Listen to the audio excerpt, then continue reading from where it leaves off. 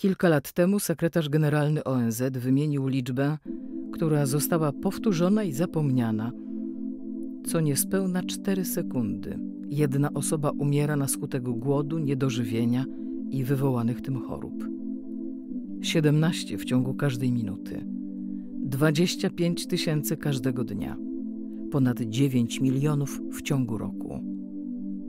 Półtora Holokaustu rocznie przełożyła Marta Szafrańska-Brandt.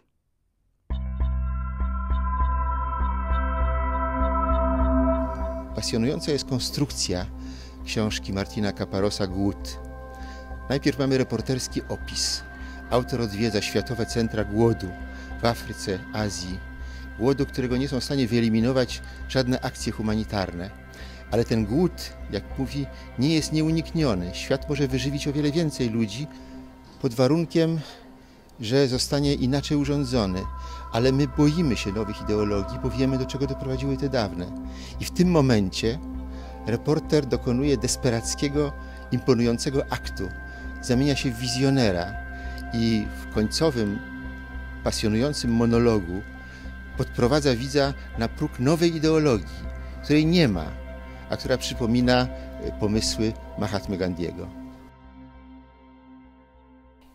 Ja muszę przyznać, że na początku ten tekst budził we mnie sprzeciw, ponieważ autor pisze to pod hasłem ten świat, obrzydliwy świat, budzi we mnie wstręt.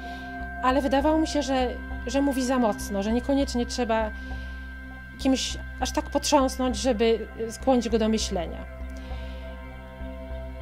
Potem z czasem oddałam mu jednak sprawiedliwość. Chyba miał rację. To, czego dotyka, jest tak niewiarygodne, że musi, musi prawie obrazić, y, żeby, żeby skłonić do, do refleksji. A poza tym nie zostawia czytelnika w tym poczuciu grozy, niesprawiedliwości, mm, w tej sytuacji bez wyjścia, w tym, w tym zagrożeniu upadkiem, końcem świata. Nie, on widzi wyjście. Historia pokazuje, że to, co niemożliwe, może być y, zrealizowane, tylko trzeba sobie uświadomić, pracować nad tym. Decidí escribir sobre el hambre después de muchos años de trabajar sobre temas políticos y sociales en muchos lugares del mundo. Um, era curioso, tenía que escribir sobre guerras, migraciones, eh, conflictos de todo tipo y siempre en segundo plano, como al fondo, aparecía el hecho de que mucha de esa gente no comía suficiente. Yo no creo que un libro pueda, obviamente, cambiar pero creo que es cobarde o incluso un poco tonto no hacer todo lo posible por cambiar esa situación.